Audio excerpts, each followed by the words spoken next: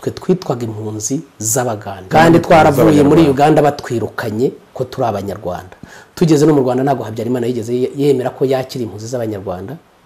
Twe twahungiye mu rwanda dufashwa na hcr akavuga ko ba bantu yakira ari aba- ari abagande. Twebwe twahizwe duhinduka n'abo twavanye uganda tuzi ko turi bamwe ariko bamaze kwigishwa bamaze kumva ko ari abahutu twe turi abatutsi. Tutagihuye nabo. Umwihariko twebwe mu gace kacu ni ahantu leta n'igisirikare cyaho cyari cyarasize ijisho kuko cyari kizi ko ari mu bagande. Kuva duhuje muri mirongo inani na kabiri kuri n'inkotanyi zitera mirongo icyenda twari tutaritwa abanyarwanda ndetse n'ubwo baduhaye amarangamuntu bajyaga bavuga ngo tugiye inasho mu bagande.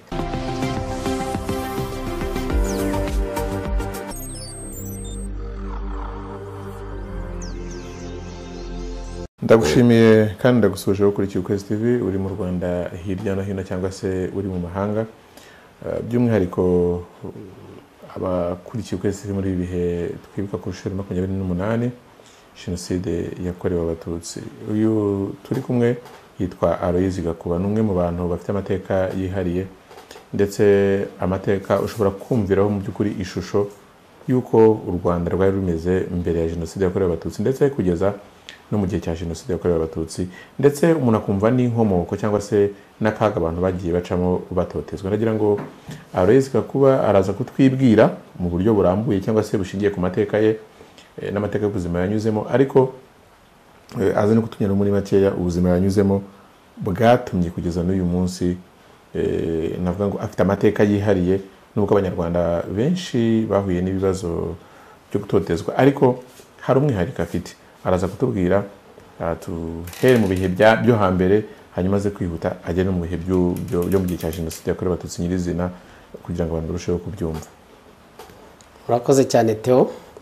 Mbere na mbere reka mbanze Ah, muri rusange nanashimira abantu ah, bakoresha zino mbuga nkoranyambaga mudufasha gusangiza abandi banyarwanda ndetse wenda n'abandi bashobora kuba bumva ururimi rwacu.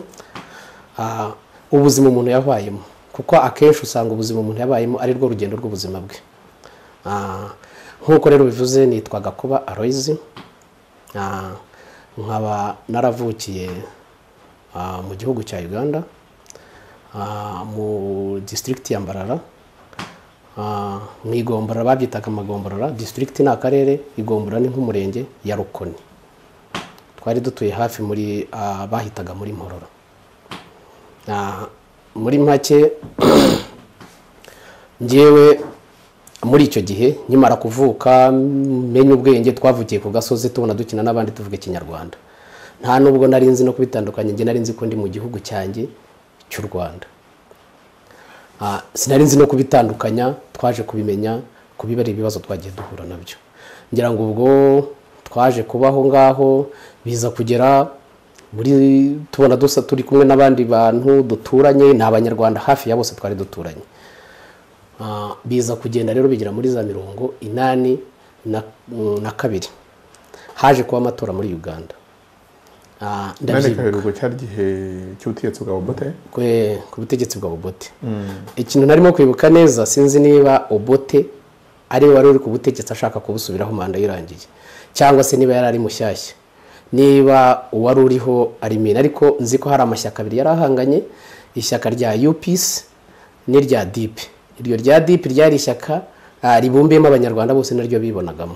Upc ryari ishyaka numvaga akenshi bakunda kuvuga ko ari ishyaka obote yari umuporoso. Ah, ishyaka ry'abaporoso ariko ribumbiyemo abantu bo muri icyo gihugu b'abanyayuganda cyane.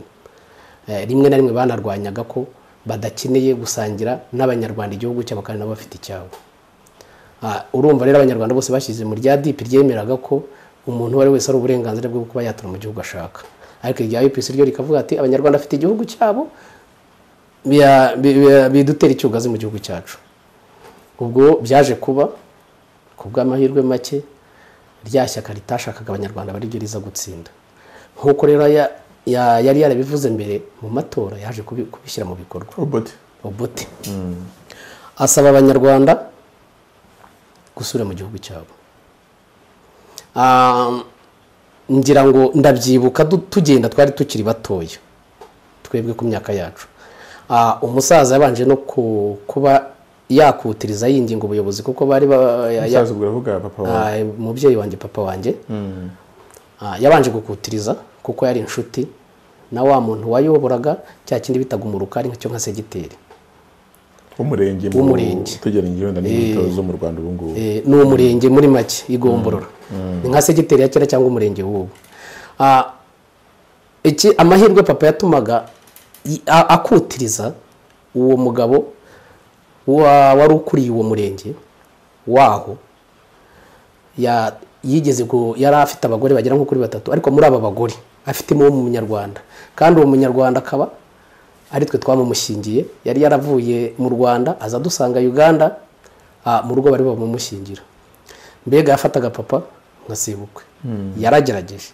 Ku mbaraga ze z'umukuru w'umurenge wa kera cyangwa se ntabwo ari abantu bari abantu bashyirwa ba- baranomaga. Bakabashyiraho. Bari nk'abakonseye ba kera. Ku mbaraga ze yari afishe afasha papa ariko imbaraga ze zigarukiraho. Itegeko rituruka hejuru twese tura dusubira mu gihugu cyacu. Mu kuza rero twaje kivunge abanyarwanda icyo gihe kwari ukutwirukana n'iki? Aho bitandukaniye na jenoside nabonye mu rwanda. Kwari ukutwirukana ku itegeko rya leta bakatwirukana. Ariko abaturage bo twari duturanye nabo bo batwiyumvagamo.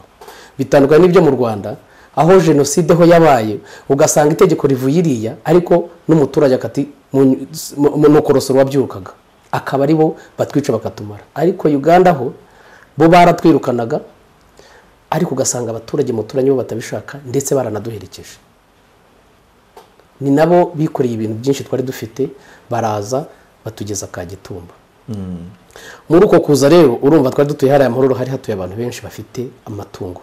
Akenshi umwuga wabo nta wundi wari ubatunze ni ubworozi. Bw'inka. Bw'inka.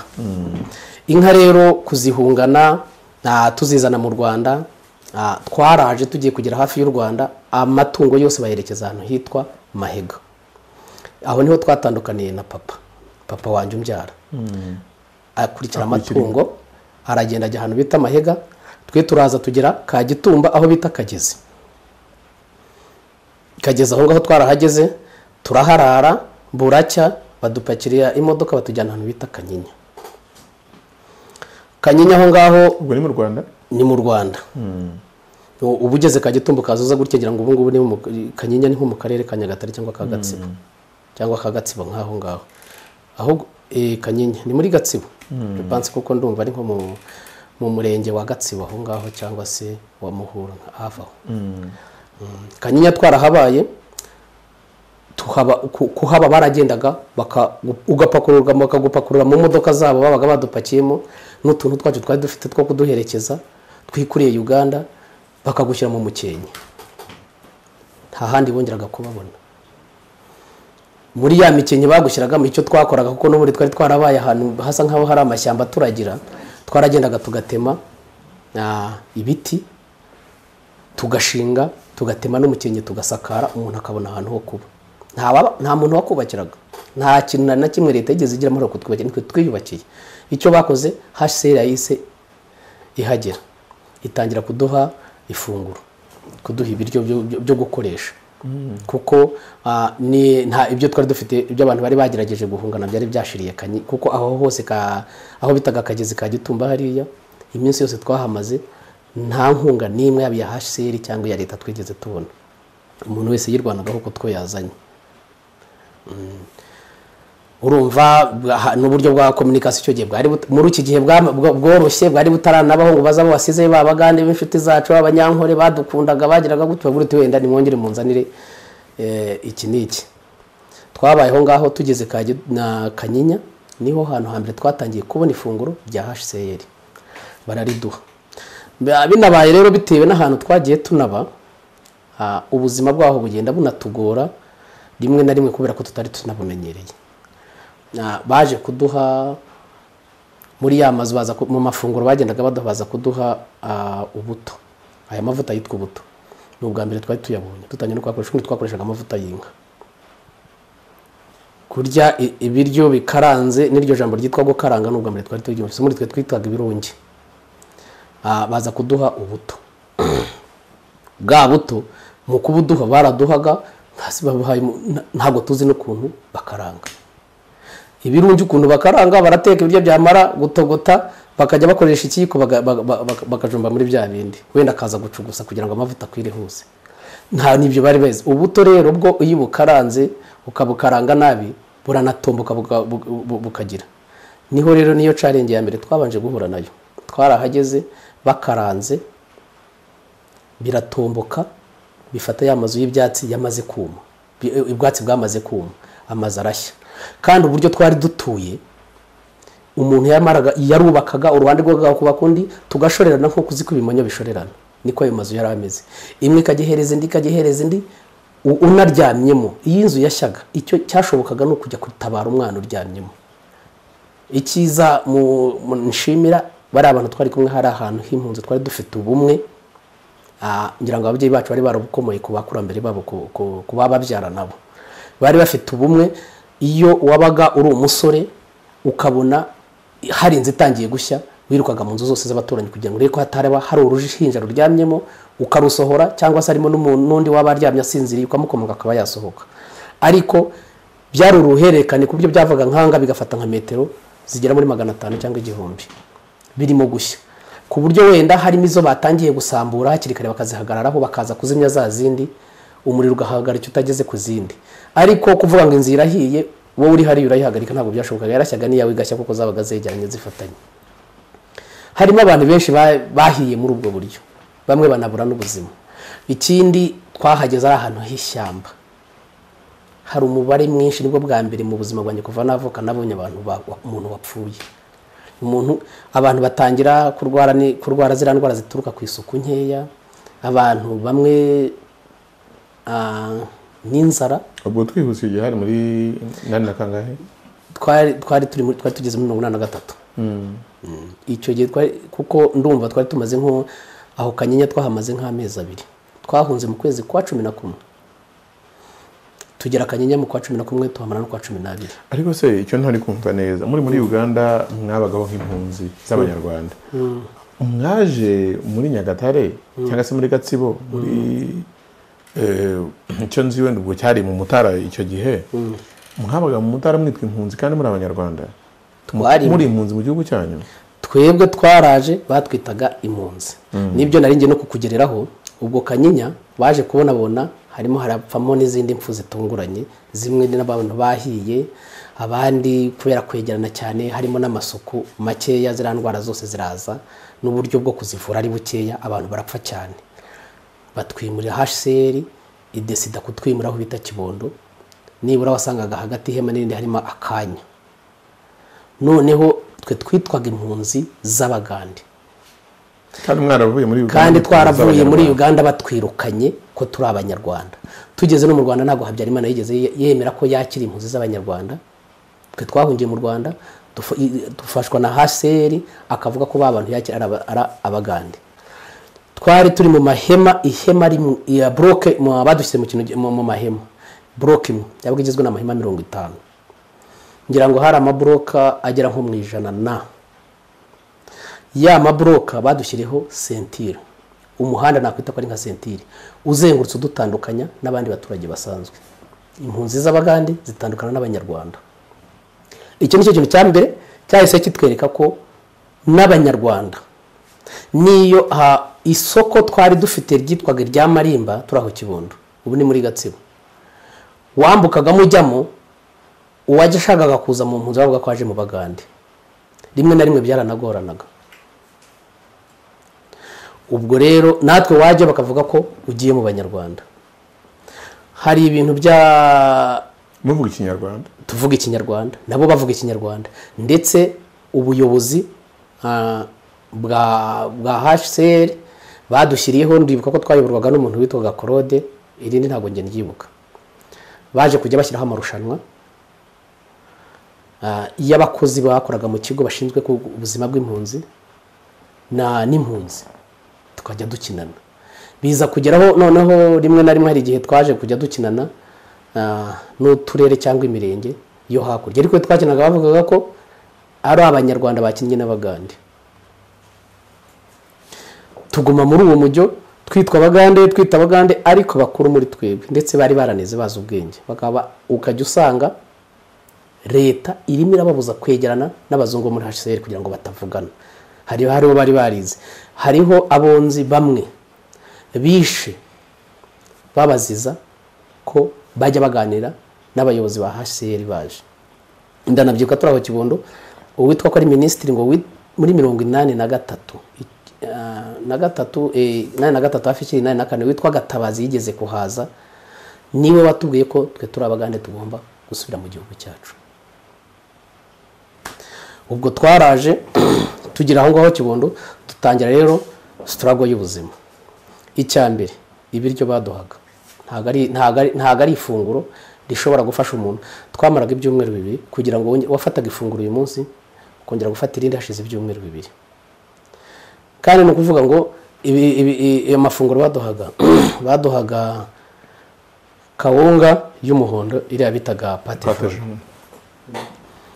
Ah, bakaduha ibindi bintu sinzi bari twabyitaga buri buri guri mu kinyarwanda inanga sinzi ukuntu basigaye babyita.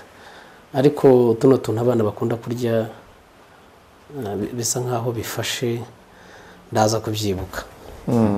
Babyitaga buri nawe bakawiguha waragendaga bafataga ubwo isa ni biriya bita porici ah, porici iyo twayitaga ariko ni nka- porici ni porici baduhaga. Noneho baje kugera aho ngaho bagafata hari icyo twe twakitaga ibakure inaha bakita ingemeri. Bayicamo kabiri. Bakagenda muri mwatsiye bakayikata. Ubwo ngubwo bakareba niba iwanyu muri umuryango w'abantu umunani bakabahereza twa duce tw'ibakure twi- twi- tw'ingemeri umunani. Ku- twa- pate jone no kuri ntuza. Ya- ya buri guri wawe wari uyisinguke porici porici ya porici nanone bakakugirira nk'uko. Ndumva ari byo twafataga tugafata n'umunyu ah, n'amavuta n'ibishyimbo. N'ibyo. Ni ukuvuga ngo baduhaye ingemeri umunani za pate jone ingemeri enye. Kuko na- na- nakubwiye ko yabaga ari mwatsiye iyi ngemeri barifataga bakayicamo ibice. Ibi- i- bakayikatamo kabiri. Ubwo ni ingemeri enye baguhaye. Za pate jone n'ingemeri enye za porici izo ukabirya ibyumweru bibiri muri umuryango w'abantu umunani. Tuhahura rero n'ikibazo cy'ubuzima aho ni ho twageze ubwo data yabaga amahiga inka zitangira gushira. Ntabwo twabanaga. Kuko we kumwe yakurikiye inka yagumye yakurikiye inka yagumye mahiga ibyo byose twari turimo. Ni na yo mpamvu twebwe twakoze tubaruwe kuri mama. We yabaga mahega abaruye ukwe. Nayo mpamvu nawe yarabaruye nk'umugande? Aha icyo gihe bari bataratangira kubarura a- abantu. Barakubaruraga kugira ngo bamenye kantite y'impunzi bafite. Gusa tukiri impunzi ibintu byo gushaka kubarura kugira ngo bamenye basubizeyo abantu byari bitaraza. Noneho papa we yabaga i bugande. Twe turumva twari abantu ah, mu rugo twari abana batandatu gushyiraho na mama wa karindwi. Tukajya gufata ifunguro ringana gutyo. Iryo funguro muri make ntabwo ryakumaze ibyumweru bibiri. Twatumagaho papa muri za nka akagira iyo agurisha ku mafaranga make ashoboka akatwohereza kugira ngo dushobore kumara bya byumweru bibiri. Urumva? Zijya kugira ngo na zo zirapfa ziranashira nawe ageze aho ariyizira Ah, wenda uraza kugenda wihuta kugira ngo urumva ibintu byabaye mu myaka ingahe kuva inani gatatu kuza kugera icyenda na kane umva n'imyaka cumi na eh, urageza kwihuta kugira ngo noneho ni byo nari nkubwiye aza kuza ahageze cyokora muri cya gihe yazaga yaraje asanga twarabaruwe. Tumaze kubarurwa ariko twe badushyize kuri mama nawe yibaruza ukwe. Ariko bagiye kubarura noneho ah, bagiye kubarura abanyarwanda. Ageze igihe cyagiye yavugaga aha umukuru w'igihugu habyarimana nyine avugaga ko ikirahure cyuzuye kidashobora ushyizemo igitonganya kimwe byose bihita bimeneka. Ubwo baje kugeraho noneho bashaka kubarura bashyiraho ikintu kimeze nk'umukino. Batereka tubarure tumenye abanyarwanda bacu abagande tubasubizeyo. Kandi twese twari abanyarwanda. Barabarura. Ariko ikintu bivuge ko wari umukino. Bajyaga kubarura niba ari umusaza waje. Wari ufite abana bakuru nabo bafite amahema yabo babamo. Ugasanga umusaza abaye umunyarwanda abana be babaye abagande. Cyangwa se muri ba ba bandi bose babaye abagande havuyemo umwana umwe abaye umunyarwanda afite nk'umwana washatse. Nk'umwana umwe abaye umunyarwanda abo babiri bose babaye abagande ah, n'umubyeyi wabaye umugande. Biba ababyeyi be bombi.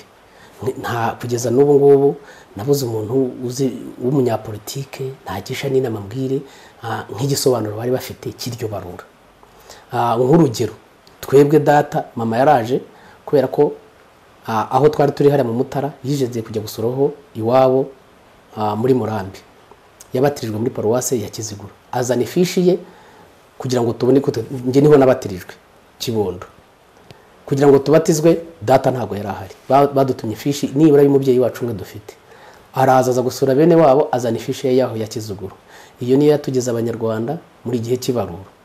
Iyo fishi arayitanga turabatizwa n'iki iyo fishi rero niyo yaje kutugira abanyarwanda agiye kwibaruza baramubwira ngo nagaragaze icyangombwa kigaragara ko umunyarwanda atanga ifishi y'uko yabatizwa ikiziguro bamugira umunyarwanda.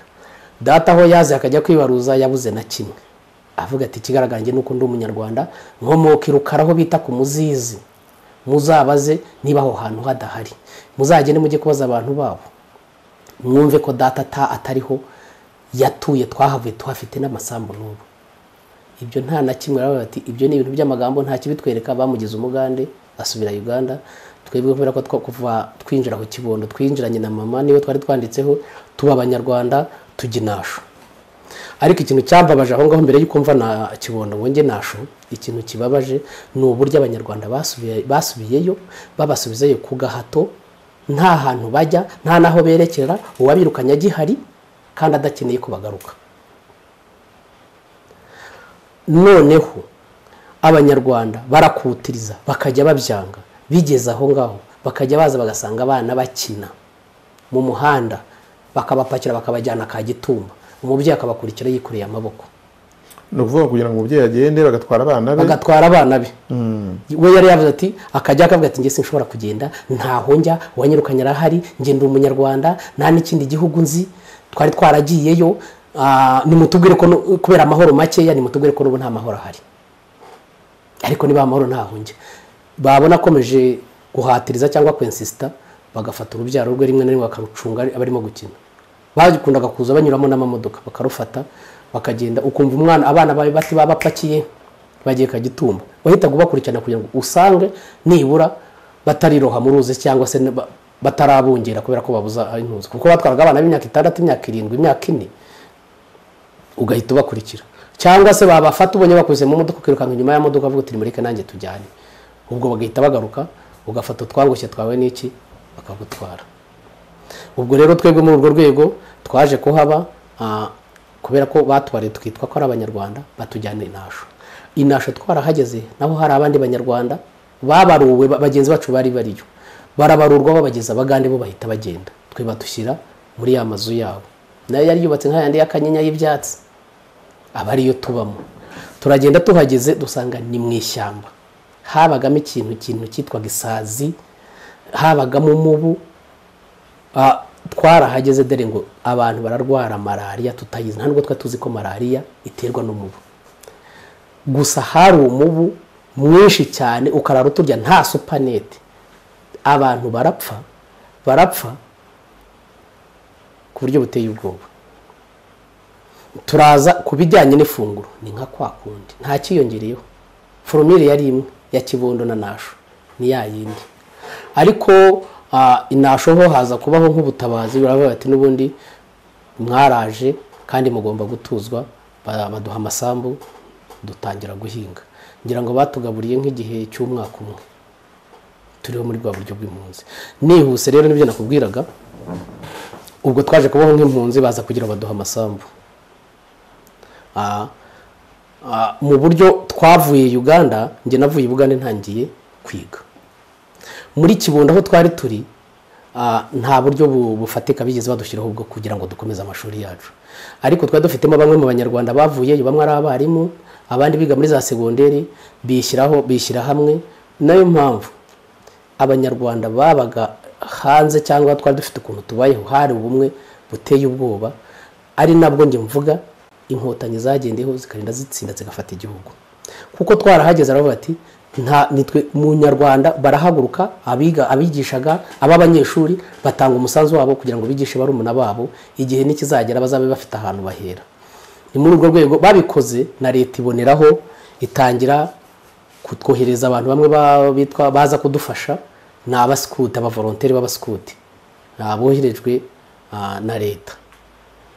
Baraza batangira kujya batwigisha ariko abenshi twigishwaga na bagenzi bacu. Kwiga byari ibintu birimo desorde nabwo utamenya umuntu twigiraga munsi y'ibiti. Ukagenda ugafata igiti nka kiriya bagashaka ikintu cye kibaho uh, triplex bakayisiga intuza y'umukara bajyaga bafata imbyiro z'isafuriya. Bagakoresha umukanana bakayisiga kikirabura. Bakagishyira hariya batangira kwandikaho. Leta ni bwo yatangiye kuzana imitangira kujya iduha ingwa iduha n'ibibaho byiza. Noneho icyo gihe tugitangira bagendaga bakagifata bakagishyira ku giti. Mukicara mu- mu- munsi ya cya giti. Bagatangira bakabigisha. Batagendeye kuri porogaramu y'amashuri ya leta n'iki? Apfaga kwigisha umwana akavuga ati njye niga nize gutya akaba ariko agenda atwigisha. Ku bintu yitekerereje. Niyo mpamvu wasangaga ibyo wize hano munsi y'iki giti uwo mu kiriya yize ibitandukanye n'ibyawe. Nta gahunda yabaga imwe mwagenderagaho. Ni na yo mpamvu natwe wasangaga ah, rimwe na rimwe ushobora kuba uyu munsi wagiye muri iki giti ejo ukavuga uti ntabwo nkijyamo. Wenda umwarimu ukigira mu kindi. Nta gahunda ejo ushobora kwigira muri iki giti ejo ukigira mu kindi. Ubwo tugenda tubaho muri ubu buzima ah, twimutse tujya inasho nibura aho tuhageze ah, twe nk'ahantu twabaga twari tuhafite abarimu babiri. Inasho twajya dusanga bakasemo uduce tugera kuri tune. Baciyemo agace bicaga rushonga hariho n'akandi kari karimo abantu kagwiriyemo kubera ko habagamo impunzi zavuye uganda ngo b'ubwoko bumwe bitwaga abatutsi. Kugira ngo bahita bahita ngo ni ihutu bafata n'ahandi hitwa nyabubare n'ahandi hitwaga ah, muri gatatu. Bari barahise muri gatatu n'ibanda. Muri utwo duce rero ah, yaba ari za rushonga ugasanga uko batujwe ahantu bita rushonga. Kari agace uduce tugiye dutandukanye. Bakikuramo umuntu ushobora kwigisha aba bana nk'uko kibondo byari bimeze. Nyabubare twikuyemo bakuyemo abarimu babiri. Ah, batangira kugenda batwigisha. No muri gatatu bigenda gutyo. Ngira ngo ubwo inasho twahagiye muri mirongo inani na gatanu. Inani na gatandatu ni bwo twatangiye abo ba- ba- batangiye kongera kwikuramo kugira ngo batangire kutwigisha. Ariko bigeze inani na ga- na gatandatu bakajya baza bagasanga turimo turiga ba- batangira kujya badusura ubuyobozi bwa leta abitaga ba inspekteri na na ba diregiteri ubu muri iki gihe diregiteri usanga ayobora ikigo. Ariko twebwe ah, uwo bitaga diregiteri yayoboraga ibigo byose biri mu murenge. Batangira kujya badusura noneho banatwemerera kuduha abarimu. Muri icyo gihe ibigo byose by'amashuri byari bihari ntabwo byabaga bisaba abantu bafite imanite cyangwa n'iki baduhaye abarimu bazasiraye n'iki ariko nibura bashobora kuba ah, bazi politiki y'igihugu igendeweho mu kwigisha. Abarimu twasanze inaha ngaha mu gihugu. Baratangira baraduha ndabyibuka bwa mbere twebwe twahawe ah, uwasezerewe mu gisirikare. Ariko ubona na byo ari nk'ibintu ya- nka misiyo barije bamuha kuko baravuga ati muri bariya bantu b'abagande bari hariya birasaba ko bajya kugira. Birasaba ko tubahereza umuntu nibura ubajyana mu mu- mu mujyo twe dushaka. Ni batwohereje abarimu bagera kuri batatu n'uwa kane ari nawe wari responsable. Baraza batangira kutwigisha. Aho ngaho uburyo yakubitagamo abantu hari abana bamwe wajyaga kubona ukabona umwana atashye anyara amaraso agera gute ni naho hantu twatangiye kwigira politiki y'igihugu batwigisha ibintu bya ideology ya, ya politiki bari bafite. Twigishwa n'uwo mugabo wahoze mu ngabo za habyarimana Ah, atwigisha uburyo abatutsi babayeho ari babi yigisha ba bana twavanye uganda nabo ni ho muri icyo gihe ni bwo twatangiye kubona ko mu rwanda aba- abaturage batuye u rwanda bagabanyije mu moko atandukanye. Ata- atubwira ko u rwanda rugizwe n'amoko atatu umuhutu n'umututsi n'umutwa. Abenshi ntabwo twe twari tubizi.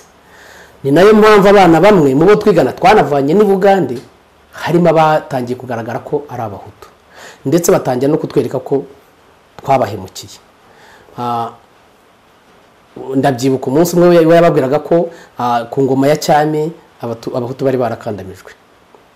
Ko birirwaga bahinga ibyitwaga shiku ko bakoraga imirimo y'agahato ndetse bakahabwa n'ibiboko bakanakubitwa. Ndetse kandi akavuga ati abahutu bamwe ba- mwabana mwe mwebwe b'abahutu bari ahangaha abo mukomokaho bose babayeho muri ubwo buzima. Atubwira ukuntu mu mwamikazi witwaga kanjogera yajyaga guhaguruka agahagurukira ku basore babiri b'abahutu akabashinga inkota hano mu rutugu akabahugurukiraho ubwo abo bakaba barapfuye ejo bakazana abandi. Ukumva umuntu w'umwamikazi nk'abantu twari dutangiye kujijuka tuzi n'ubwenge ukumva umuntu w'umwamikazi uko agiye guhaguruka ahagurukira ku basore babiri b'abahutu wanatekereza n'inshuro umuntu akenera kwicara no guhaguruka ku munsi noneho ukazikuba n'ubundi buzima yabayeho ayobora ukumva koko ko hatikiye imbaga.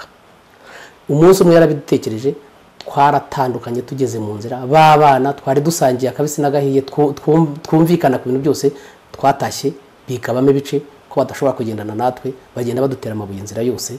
Natwe dufite undi muntu ubahagarikiye natwe twikoramo ibikundi bafata amabuye natwe turayafata. Tugenda tuyaterana inzira yose. Tugera mu rugo turataha bakagenda bakabibwira abo- bantu rero igihe cya jenoside.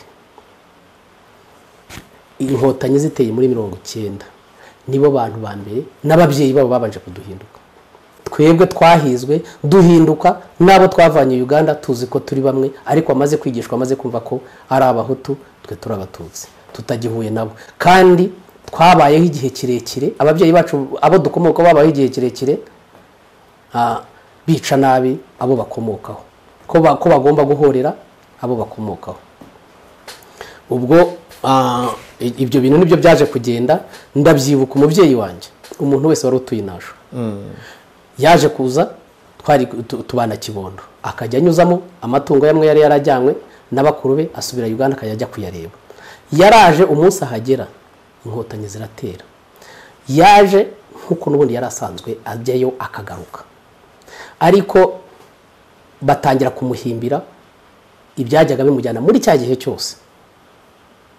Ko yari arimo yari inkotanyi arimo gukora n'inkotanyi ategura urugamba none akaba azizanye. Ko ndetse n'ubu ngubu wari uriho aje kwica abahutu duturanye. Bavuga ko yari afite ngo bavuga ngo afite igikapu kirekire ngo cyarimo imbunda. Hariho n'abagerekagaho bagashaka kuvuga ngo ngo irashishwa amaguru. Nayo ntaramenya ko habaho imbunda irashishwa amaguru. Ah, nyuma yaho bitangira gutyo bafashe ababyeyi bacu barabatwara mu byitso bahatwaye bashiki banjye bakajya birirwa ba- babakubita kuko baje nyuma kubarekura baragaruka bo bakajya birirwa babakubita babakoresha n'ama exercice ari fizike badashoboye. Ba- baburiza inturusi. Inturusi itagira amashami. Ngo nibatanguranwe. Ushoboye ngo niba- bagatangira kubakubita. Ngo nibarushanwe kurira ya nturusu na benshi baraje bakuyemo ntuza n'ibibazo n'utarapfa aracyabifite ubu ngubu. Abandi mushiki wacu mukuru we yari na munini. Icya giti kiramunanira. Yarakubiswe cyane yaje kwipfira muri mirongo icyenda na ngira ngo mu- bihumbi bibiri. Bi- biturutse kuri izo- ngaruka. Bafashe ababyeyi bacu bakabatwara bakagenda bakabageza iyo ngiyo. Abo batwaye muri mirongo icyenda na kabiri bari ku ibyitso hagarutse imbarwa ntabwo bigeze. Ariko dusubiye inyuma gatoya ubutegetsi bwa obote bwaje guhinduka ndetse mu mateka batubwira ko muri inani na gatandatu museveni amaze gufata ubutegetsi hari hari abantu barimo eh, abanyarwanda bari baramufashije urugamba rwo guhirika milton obote Eh, icyo gihe nta gahenge abanyarwanda bari bari muri uganda babonye ku buryo na- naho umubyeyi wanyu wari ukiriyo wenda yaba yaratangiye kumererwa neza. Nta kibazo rwose obote amaze ntuza museveni amaze gufata igihugu. Na ba banyarwanda twari kumwe kibondo bashubijwe y'inani na kane. Abenshi baragiye bamusanga mu ishyamba bafatanya nawe gufata igihugu. Umunyarwanda yarabohotse yabonye amahoro n'iyo yari ari yari afite amahoro. Nayo mpamvu n'uwazaga yazaga aza kugusura akongera akisubirirayo kuko yasangaga ari hafite amahoro. Yewe n'icyo nakubwira ni uko iyo nshuro data yaraje nk'uko yari abonye ko uganda hari ubuzima budafite aho buhuriye n'ubwo mu rwanda yaraje ashaka no kudutwara. Kuri iyo nshuro yaraje ashaka kudutwara turimo guhiga dushaka umuntu utugurira aho twari dutuye. Nibwo rero bitakunze kuko yahageze bugacya inkotanyi zitera kongera niba uzizanye. kongera gusubira uganda biba ikibazo. Eh, ahubwo batangira kubatunda babajyana muri gereza abenshi ntibagarutse. Ako gace mwari murimo n'abanyarwanda mwari mwaravanye muri uganda jenoside mu bice bitandukanye by'igihugu ya- yabaye icyo ihuriyeho ni uko abantu benshi eh, bakoreye ibikorwa by'iyicarubozo mu buryo butandukanye ariko usanga hari ahantu muri buri gace hari umwihariko. Umwihariko w'ako gace mwari murimo wari uwuhe? Umwihariko twebwe mu gace kacu nk'uko nabanje kubikubwira ni ahantu leta n'igisirikare cyaho cyari cyarasize ijisho kuko cyari kizi ko ari mu bagande. Nakubwiye ko kuva duhuje muri mirongo inani na kabiri kuri inkotanyi zitera mirongo icyenda twari tutaritwa abanyarwanda ndetse n'ubwo baduhaye amarangamuntu bajyaga bavuga ngo tugiye inasho mu bagande. Hari umusirikare umwe ngo yari umuriyetano witwaga karekezi yari mwene Batu- baturatura. Niwe warahawe misiyo yo gukemura ngo ikibazo cy'abagande bari inasho ni na yo mpamvu aho inkotanyi zitereye. Umuntu wese witwaga bari barabaruye ko ari mu bwoko bw'abatutsi w'igitsina gabo wese yagiye muri gereza. Abakobwa abagore barafunzwe b'iwacu. Ngo nibo bari buzakira inkotanyi muri kigali batanahazi. Kuva tuje na bashiki banjye nta n'umwe wari wagakandagiye muri kigali. Ariko ngo nibo bazakira inkotanyi muri kigali bose barafunzwe. Urumva? Hari ibintu byinshi twajyaga twumva mu kindi gihugu twebwe mu- tundi- mu tundi duce ariko wasangaga nk'intasho rimwe na rimwe kubera ko ari no mu bagande rimwe na rimwe tu- tudashobora no kuba twa- twagiraho uruhare. Ah, ngira ngo nko mu mashuri ibintu by'itoteza cyangwa by'amoko byo ah, byari bihari mu gihugu hose. Ariko inasho ho byari urundi rwego. Rimwe na rimwe ugasanga n'abatari muri ubwo bwoko nabo babizira. Sinzi n'impamvu ah, ndatanga urugero nka mukuru wanjye. Kuva turi n'inasho ntabwo turi na kibondo. Bigeze gutanga ikibazo kimwe mu mibare. Aba ari we ugitsinda muri ako gace kose. Ahembwa n'umugabo bamwitaga nka inspekiteri. Wari ushinzwe mu mpunzi woherejwe na leta. Mu bintu by'amashuri. Turaza tugeze inasho bwa buhanga bwarabukomeza. Niwe muntu wabaga uwa mbere kurinda ava aho yatangiriye kurinda arangiza uwa mbere. Bigeze mu mwaka wa munani akora ikizamini aratsindwa atsinzwe ndabyibuka muri mirongo icyenda na kabiri. Habayeho kugarura urutonde ngo rw'abantu bari baratsinze. Ku bwa agata uwiringiye imana yashyizeho abantu ngo batsinze baza ari urutonde rw'umwihariko rwaje nyuma ngo ba- batari barite ba- batarabonye neza baza kubasohora. Asohoka ari we ufite amanota ya mbere mu karere kandi mbere atari yarasohotse ku rutonde ko yatsinzwe. Urumva hari ibintu bimwe kubera ko twari dufite icyitwa ngo ni amaraso y'abagande hari ha- hari uguhezwa ku bintu bimwe tutabonaga. Reka tugere mu gihe cya jenoside yakorewe abatutsi nyirizina muri icyenda na kane. Byari byifashe gute inasho Ya, inasho icyenda na kane. Amahirwe yaje kuhaba ah, nuko bari begereye umupaka wa tanzania. Ibintu bagiye bacamo muri mirongo icyenda. Kwa gutotezwa kwa gukubitwa. Hari igihe burugumesitiri yazaga n'abasirikare bagafata abantu basore hano bakabatwara. Ubu ngubu ahantu hirya nakubwiyeho bita muri gatatu. Niho hari irimbi ry'abantu bavuga ko bafasha inkotanyi. Bahereye kuri bamwe twe dufite aho ngaho. Barazaga bagakuramo abasore bakabajyana mu modoka bafite akamodoka k'agahirigisi gafite karisori. Bakabajyana babakandagiyemo bakabicirayo bakabataba. Hariho n'abo bicaga ari bo bicukuriye. Ukabanza ugacukura imva yawe bakagukubita ugacukura imva yawe warangiza bakagukubita bakaza kukurasa icyenda na kabiri? Icyenda na Cyangwa mu ni- gihe cya Jenoside kuva muri mirongo icyenda kuva muri mirongo icyenda kugera icyenda na kane. Eh. Ibyo bintu rero bigenda twese tubibona. Batwaye abasore batwaye abagabo barazaga aho ngaho bagafata umwana w'umusore uhagaze aho bakamukubita n'inkoni. Bamujomba ibyuma agapfiraho bakajyana bakavuga ati nimushyingure. Twebwe aho ngaho za kibuno twari dufite noneho icyo mvuga icyenda kuva muri mirongo icyenda. Ubundi detache ya gisirikare. Yabaga i Nyakarambi n'ikibungo ariko icyo gihe kuva muri mirongo icyenda bazanye detache bayishyiraho. Batangira kujya agenda batwara abantu aho bitaga iyo za mpanga. Hirya ahantu bitaga muri gatatu ariko ngo niba ugana mpanga bari barahacukuye ahantu bicira abantu. Buri munsi bahoraga baza bagashomba bagashomba batwara bake bake bake. Hariho nabo bazanaga babakuye iyo ngiyo za kibungo za nyakarambi za kirehe bose za musaza. Ukajya kubona ukabona igihe cyane cyabikubwiraga bakaza bamukandagiye hejuru mu kanya bakagaruka ntawe bafite. ba- ba- bakabicira aho ngaho. Niyo mpamvu rero ah, wabonye icyo nakubwiye none ibyo byose bigenda bidutegura. Indege ya habyarimana umunsi imanuka. Ah, abanyarwanda bose bakomoka hari inasho Aba- abaraye bashoboye kurara babyumvise. Muri icyo gicuku cyose barahiriritse bahungira tanzaniya bahungiye tanzaniya mu gitondo ya wa musirikare bari barahaye inasho yahageze n'interahamwe n'abasirikare aje asanga benshi bagiye. Abari bagihari yabiciye aho ngaho. Bose nta n'umwe warokotse. Ku buryo n'abantu ba nyarubuye nyarubuye mubona habaye jenoside abenshi biciwe hariya.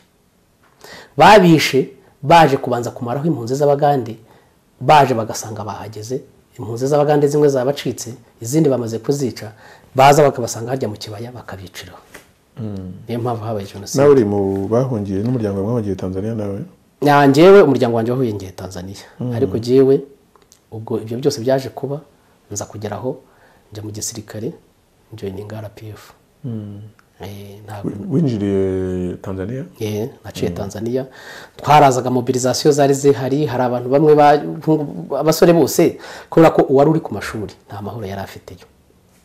Uwari uri aho ngaho uri umusore nta mahoro yari afiteyo.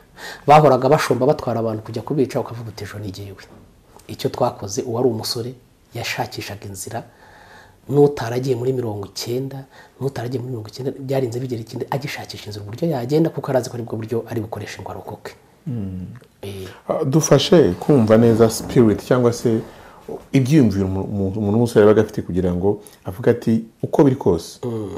Birakwiye ko ninjira mu gisirikare cy'inkotanyi. Eh, icya mbere ni uko hariya umuntu wese kwinjira abasore twa b'iwacu nari ntarasoreka cyane ariko nari mfite imyaka nka cumi n'itandatu n'irindwi. Ariko icya mbere ni uko umuntu yari azi ko kuba ari aho ngaho ari icyitwa ko ari umusore nta gihe afite atarapfa agomba kwicwa. Twagendaga ari nko guhunga. Icyo ni icya mbere. Ikindi cya kabiri wari uzi ko nugera ah, nu- nuhungira nawe ukajya nko mu nkotanyi uzaba ubonye ahantu ushobora kuba ufite umutuzo. Urumva? Ikindi cya gatatu ni ukukubwira izo nkotanyi utanazizi. Ukavuga uti igihe bahere bazinyurira reka nzisange ndebe nuko zisa. Ese koko ni na bene wacu? Ukumva ufite na yo matsiko kugira ngo ugende uzirebe. Nicyo kintu iyo sipuriti y'abantu bari hariya bose. Ariko akenshi si natwe gusa n'abandi bantu hirya no hino mu gihugu batotezwaga abenshi nicyo- ni- ni- ni cyo kintu cyinshi cyatumye kigira. Kwari uguhunga kominikasiyo buryo bibaza kominikasiyo y'umuntu uri mu nkotanyi winjiriye tanzania winjiriye uganda winjiriye mu burundi uburyo bw'ikoranabuhanga buriho uyu munsi ntibwari buhari. Kubasha gukominika ku buryo umenya ngo baherereye he ndabinjiramo gutya bakamenya ngo bagenzi bacu bari mu kindi gihugu ba- ba- bameze gutya. Kominikasiyo yakorwaga gute? Ah, icya mbere komunikasiyo y'inkotanyi. Yabo yari imwe gusa. Yari abakada. Abakada babaga ahantu henshi. Mu bihugu hafi ya byose duturanye. Abakada ahantu batari bari ni mu rwanda. Kuko ntiwatinyukaga. Unabikoze umunsi umwe. Bitavuze ko mu rwanda benshi banajyagayo batwitaga inyenzi bakatubwira ko ari bene wacu utugezeho natwe tubiyumvamo. Twebwe twumva ko bashobora kuba ari n'abavandimwe bacu. Ariko icyo amakuru twaje kumenya nakubwiye ko twari dutuye iruhande rw'umupaka wa tanzania natwe. Abakada baradutumagaho. Bakavuga bati urwo rupfu rubegereje hari uburyo mwaruhunga. Kandi mugatanga niba mwumva munabishaka mugatanga n'imbaraga mukabohora icyo gihugu cyanyu kibica uko bwije n'uko bukeye. Ayo makuru rero akenshi abantu bakundaga kugenda twakundaga kugenda. Habaye umunsi w'isoko isoko ryabaga ku wa gatanu.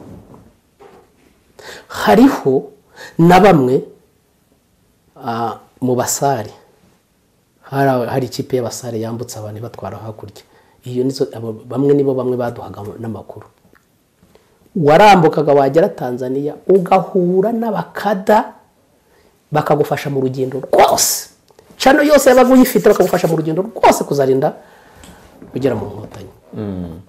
So, gakuba agiye mu gisirikare cy'inkotanyi urugamba rwo kubohora igihugu rurakomeje ndetse na jenoside ubwo yatangiye. Eh, iyo nzira yo ni ndende ntabwo wenda twayinyura muri mu gisirikare. Waje kugaruka mu rwanda ryari? Tubohoje igihugu. Mm. Igihugu gifashwe ni bwo nashatse umuryango wanjye kugira ngo ndebe ko hari abasigaye muri mirongo icyenda na gatanu. Mba ku gisenyi. Wasanze umuryango byifashe gute? Umuryango mukuru wanjye yari yarapfuye eh, ubwo harokotse ko mwambukaniye muri tanzania? bashiki banjye oya ntabwo bo bahise bambuka. Bambutse umunsi habyarimana ijoro habyarimana yapfuyemo. Babaye imfu- bamenya amakuru gusa. Barara hari mu mukuru wanjye wo kwa data wacu ah, yari yaravuye uganda yiga muri mu- mu- muri za segonderi. Yari azi ubwenge ni wowe wabatwaye. Araza arabafata bose nka famiye muri iryo joro. Arabambutsa abagezayo. Ubwo ariko ngewe ngeze inaha mu rwanda nasanze mukuru wanjye wigaga kuri Saint Aloys yari ah, yiteguraga ngira ngo gukurikiza yarahungiye hariya yaragiye jenoside yamusanze Rwamagana. Abana acumbikiwe n'umugabo w'umuganga ah, ngo wari mu bwoko bw'abahutu. Amurwanaho aramuhisha mpaka aragenda arinda agera i rukara. Jenoside yatangiye. Aragenda ageze i rukara mu kiliziya cyaho ni ho yaguye. Kuko yari asanzwe mushiki wanjye mushiki wanjye waraharokokera. Na hano i rwamagana hari mushiki wanjye waharokokeye. Ni uko abarokotse bashoboye kubaho.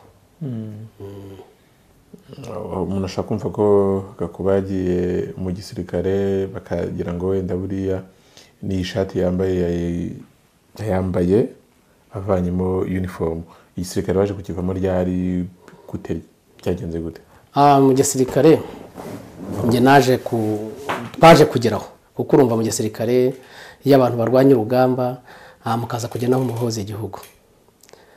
Mwarwanaga n'abantu bafite ibikoresho. Eh, naje kugeraho ah, nza guhuramo nu- n'ubumuga ndabyandika ndabisaba. Wararashwe? Yego. Ndabyandika ndabisaba barabitwemerera ku mugaragaro. Turasezererwa ah, njye nasezerewe icyenda n'umunani. Na kuko naje kuva hariya tujya rwinkwavu amakajorite ni ho amenshi hari ibitaro byita ku nkomere z'igihugu ukagenda ukahaba ukahakirira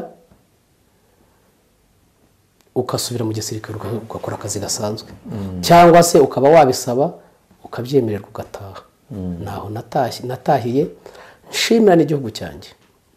Cyanyemereye ndabisaba kirabimpa kirananyigisha kuva primaire kuri ndangiza segonderi nigishijwe n'igisirikare cya RDF ibyo bintu mbishimira umukuru w'igihugu kera tukiri iriya ntabwo nari nzi ko n'ibyo bintu ushobora kuzabibona kabone n'igihugu cyaboneka. Umukuru w'igihugu nyakubahwa perezida wa repubulika yari yaratubwiye ngo igihembo twese turi aha ngaha nawe arimo duharanira ni igihugu. Uko naharaniraga igihugu niko nawe yagiharaniraga mu nzego zigiye zitandukanye nk'umuyobozi. Igihugu rero kimaze ku- igihugu twarakibonye. Ni naryo shimwe ry'umusirikare wese w'inkotanyi n'umunyarwanda wese wabigizemo uruhare n'umunyarwanda wese wabohowe. Uwabohowe mbere ni uko yabohotse akongera kubona ubuzima ariko no kongera kubona igihugu gitekanye kandi gifite umutuzo. Ikintu ushimira perezida wa repubulika avuga ati ishimwe rya mbere. Yabitubwiye mu giswahili zawadi ni ushindi. Ishimwe rya mbere ni igihugu twarakibonye. Ibindi byose byaje ah, ni na yo mpamvu twabonye igihugu badutoza kwigira sinavuga ngo na- na- na- nabohoje igihugu narwaniye urugamba ngo igihugu ni kimwe ishimwe uwo nta kibazo se nanjye mbajije ati nawe kimwe iryo shimwe? Njye namusubiza iki? Gusa tugeze aho ngaho ah, akandi kantu nakubwira ah, akandi kantu k'ubudasa ah, ku ngabo z'inkotanyi. Njyewe ku giti cyanjye. Nari merewe nabi. Ndi menase n'umuryango wanjye. Nagiye nzi ko umunsi twabohoje igihugu nzagira uruhare rwo kwihurira kuri wa wundi wari warangize kwa kundi imbere ariko waragendaga wagerayo mesaje wari ujyanye kuri mu mutwe. Habayeho ah, hariho ah, ba pisi bigishaga abantu kutiheba kukubwira gahunda igihugu gifite b'abasirikari bagenzi bacu. Ah, bitwaga ba pisi ni cyo kintu babaga bashinzwe. Baguhanaguragaho cya kindi ariko nawe ubwe warakibi uzi waragenda ugasanga bagushyize muri batayo. Iyobowe n'umuntu utazi n'ibintu byo mu rwanda w'umugande. Bikayoborwa n'umuntu w'umuhutu. Harimo n'abo twabanaga za kibondo. Bitwaga bari babarirwaga muri bwa bwoko bw'abahutu ugasanga bamushubije uganda amenenganye nawe yagarukanye n'abandi n'umuyobozi wawe. Ibyo bintu byitwa kwihorera ibyo bintu byitwa kugira ari ijambo perezida yavuze ati ntabwo byari byoroshye kubona tubuze abana baje bamara imiryango babuze ababo bafite imbunda. Ariko buriya his excellence yari yarabikoze kera. Twaje mu gihugu icyo yatubibyemo twese tukirimo nta n'uwabitinyuka. Kereka wa wundi utumva n'uwabigerageje nawe yahawe isomo nk'iry'abajenosideri babonye ukurikije ubuzima wabayemo cyagiye inani kabiri inani gatatu inani kane kuza kugera ku gihe wavuze uti icyemezo gikwiye no kujya mu nkotanyi. Urugamba rwo kubohora igihugu na jenoside igahagarikwa kuza kugera ubwo wasezerewe. Ubuzima bwose iyo uburebye ukareba n'uyu munsi utarebye kuri gakuba royiza ariko ukareba wenda mu buryo bwagutse uko abanyarwanda babayeho uyu munsi utekereza iki? Ntekereza imbaraga zose ntekereza ubushobozi bw'abanyarwanda bafite ntajyaga mbabubamo no mu kera. Igihugu cyacu iki gihugu ari inkotanyi zafashe igihugu. Nta kintu na kimwe gifatika uretse ubutwari n'urukundo ni byo byonyine bazanye mu gihugu n'ishyaka ni byo bazanye mu gihugu. Nta kintu gifatika ah, kiri fiziko bigeze binjiza mu gihugu. N'ibyo bakabaye basangamo basanze byarasaruhuwe byaragiye. Bimwe byarakoreshejwe mu kwica abanyarwanda ibindi barabyambukana babijyana iwabo. Igihugu ndabyibuka murabizi twese muri mirongo icyenda na kane. Ikintu ngira ngo cyari gihari imvura yari yaraguye ushobora gusanga mu ntoki harimo intoki abanyarwanda bake babaga bahari. Ntawagiraga urutoki rwe. Yarishoreraga akagenda akajya mu ntoki aho abonye intoki zose agatema iki- iki- ikimutunga. Hariho n'abajyaga mu maduka amaduka abari barashoboye gusigamo ikintu bagashaka ikintu kibatunga. Nari nzi ko ubwo buzima igihugu kugira ngo kizabuvemo ari ibintu byasabye imbaraga. Kubona kuva icyo gihe aho umuturage amara kurokoka jenoside arokotse umuhoro ariko adafite icyo kurya. Adafite ubundi bushobozi. Nari nzi ko kwiga bizatwara nk'imyaka icumi. Ariko muzi ko jenoside yahagaritswe muri mirongo icyenda na kane abana batangira kwiga icyenda na gatanu. Urumva? Nari nzi ko ubu ibintu by'ubuvuzi bigiye kugorana kugira ngo umuntu arwaye indwara isanzwe azavurwe bizoroshye kubera ibitaro byari byuzuye kubera inkomere. Sibyo ariko ibyo byose igihugu kibicamo ki- ki- eh, gifatanyije n'abanyarwanda buri muntu wese ngira ngo burya n'umuntu aciye mu bibazo bikomeye nka biriya biranamwigisha. Umunyarwanda wese wa nyuma ya jenoside yari atakiri wa wundi wa mbere ya jenoside wese yari afite imyumvire yo gushaka ah, gufatanya n'igihugu cye kuzamuka. Ibyo byose bi- bi- bifasha abanyarwanda noneho ifitiye igihugu kiguha umurongo mwiza ugufasha kuzamuka. Abantu barazamuka bariga numvaga natwe abari barabicikirije igihugu kiduha amahirwe tujya kwiga turarangiza igihugu kikaba kigeze kuri uru rwego ari igihugu cyifuzwa n'umuntu wese uri ku isi. Kuri uru rwego. N'imbaraga z'ababohoye igihugu ndetse n'abo basanzemo n'abanyarwanda bose muri rusange bafatiye hamwe bagasenya umugozi umwe bakibagirwa ibyo baciyemo ahubwo baka- bashyira imbaraga mu kongera gusubiza igihugu mu mudendezo. Ah, dusoza ubuhamya ndetse n'ikiganiro twagiranye na gakuba royizi ni iki ubona amateka y'u rwanda yose batunyuriyemo akwiye kwigisha ukiri muto udukurikiye Ah, murakoze cyane. Ngewe amateka y'u rwanda ni amateka akomeye cyane. Umunyarwanda buriya wese yaciye muri byinshi. N'uwavutse nyuma igihugu cyacu ah, kiri mu byiza bimeze gutya ariko yarasobanuriwe. Nta munyarwanda umunyarwanda wese mu mutima we akwiye kubaho. Aharanira iterambere rye ariko uko yifuriza ineza anayifuriza n'undi. Ndagushimiye gakuba Aloyizi ku mwanya wafashe kugira ngo tuganire uganire n'abanyarwanda ubasangize iyo nzira itoroshye ariko yaje gutanga umusaruro mwiza. Ariko kandi eh, nanagushimiye kuba eh, warabizirikanye kuko hari umuntu waciye muri byinshi ariko bikamuhungabanya ku buryo no kubasha kubisubiramo bigorana. Eh, reka ngushimire ngushimire n'uruhare wagize kugira ngo bamwe mu bakuriye iki kiganiro uyu munsi hari ushobora gusanga imbunda wari uhetse eh, ku gisenyi cyangwa ahandi ariyo yatumye abasha gukurikira ikiganiro uyu munsi. Ubwo mvuze wowe n'abandi mwari muri kumwe mu rugamba rwo kubohora igihugu. Reka rero yaba wowe ndetse n'abakurikiye ikiganiro mwese mbifurize kugira ibihe byiza ndetse no kunogerwa n'ibyo mukora byose.